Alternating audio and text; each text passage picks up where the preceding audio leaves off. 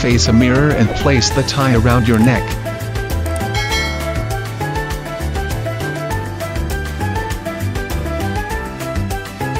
Loop the wide end over and around the narrow end. Tuck the wide end of the tie into the neck loop. Cross the wide end over and around the narrow end once again. Feed the wide end up through the neck loop from behind.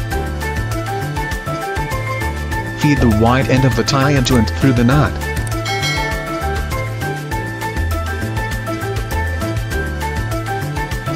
Tighten the tie around your collar and make final adjustments.